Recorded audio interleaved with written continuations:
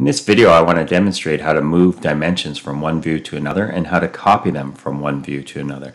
So for example, if I would like a copy of the 3 inch dimension on the top view, I'm going to hold the control key and then I'm going to click and hold on the dimension and I'm going to drag it up. Notice the black circle with the line through it, through my mouse. If I release it now, nothing will happen. So I'll just release my mouse, nothing happens.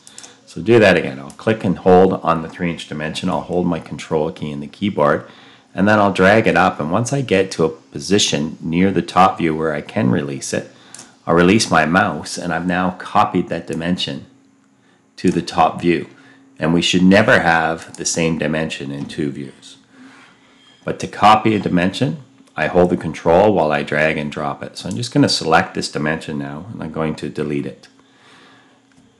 If I want to move it from one view to another, then I'm going to hold shift while I click on the dimension and then I'm going to drag it up to the view or over to the view I would like it in.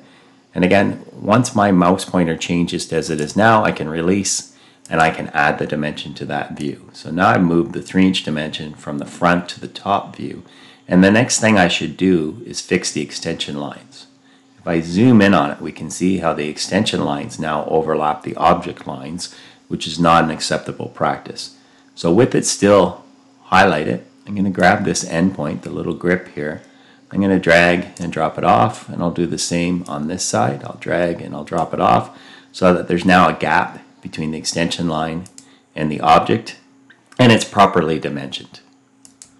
So to move a dimension from one view to another, I hold shift while I drag and drop it. To copy a dimension from one view to another, I hold control while I drag and drop it.